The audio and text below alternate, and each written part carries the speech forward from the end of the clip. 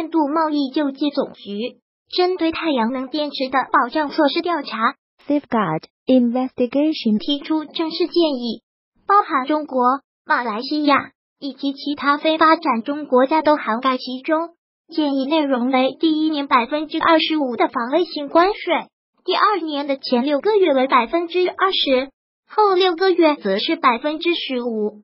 此项提案目前还需经过由能源部、商务部、工业部的跨部会代表组成的委员会进行审理。针对是否实施或是调整关税税率，再送交印度财政部裁决才会成立。因此，尽管目前已经提出建议。但依据过去印度多次提出的贸易战提案，最终皆不了了之的情况，此次防卫性关税是否能实施，仍是保持存疑。尤其印度长期目标是在二零二二年达到了幺零零 GW 的光伏安装量，在既有的内需供应不足下，是否该实施关税，也是印度本土制造商、开发商争论的焦点。印度是目前仅次于中国。全球组件需求第二大的国家，尤其中国市场在五百三十一政策发布后大幅下修，印度的需求已经占到全球需求百分之十三点六。印度政策的变化无疑牵动着全球光伏的神经。今年印度的组件需求预估会在九幺幺 GW 之间，而过往中国制组件是印度市场最大的供货商。二零一七年全年中国出口印度组件超过九 GW，在二零一八年截至目前为止，不仅先前已经受到贸易战一律影响，中国出口印度组件的数量大幅减少。另外，目前印度的项目开发进度稍显缓慢，因此到今年五月，组件出口印度数量约只有三点一 GW，与二零一七年同期相比。减少了约百分之三十三，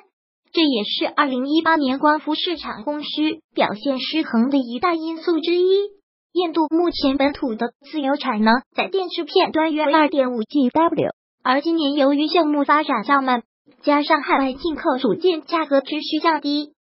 多数当地电池厂并没有扩增产能计划，所以能加上隆基计划在印度新投入的一 GW 电池片与组件产能。然而，本次建议中有其他开发中国家进口组件不得超过度总进口量之百分之三，电池不得超过总进口量百分之九的规定。因此，越南、泰国和基金幺零 GW 的电池片产能也无法贡献太多，整体要满足每年超过幺零 GW 组件需求，仍是远远不及。另一方面，如后续按照此次建议，针对中国。马来西亚以及其他非开发中国家的电池片或组件加军防卫性关税，印度厂商也不见得具有价格优势。除了印度组件生产成本并不特别低外，在今年市场供需极度不平衡下，中国制组件在刻上本次建议税率后，仍会比印度生产组件成本低。因此，防卫性关税的实施对于印度市场可能只会带来垫高电站建设成本。或是组件效率较低的负面因素。TV Info Link，如果喜欢本视频，请分享并订阅本频道。访问 TT News 点 XYZ 获取更多相关资讯。